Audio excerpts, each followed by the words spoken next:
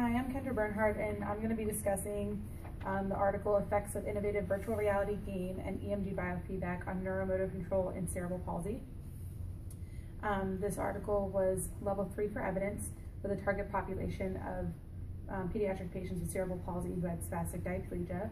Um, we're specifically looking at the upper extremity with um, overactive biceps and underactive um, tricep muscles.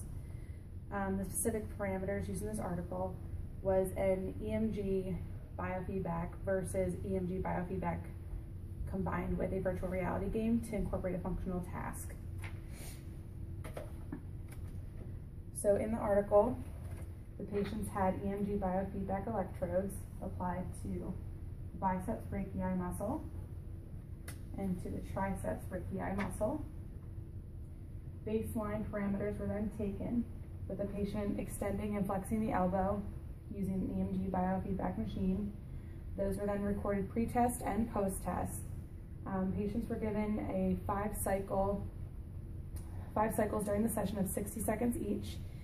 Um, half the initial treatment was just bio, biofeedback individually, and then the second they were playing a game called Aqua, in which the patient was to extend their elbow as though they were trying to reel in a fish during a fishing game, and then they would pull their arm back as if trying to cast the reel to facilitate that activation of the triceps. The parameters, uh, the parameters were set at 1,000 hertz for the rate, and the electrodes were a hydrogel electrode with silver and silver chloride surfaces, placed two centimeters apart on the um, affected limb muscle groups.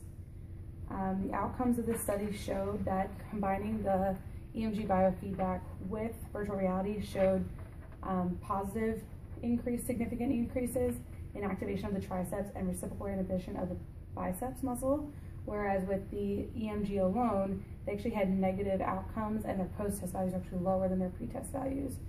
So with all that being said, I would recommend this being used in the clinic with the appropriate patients.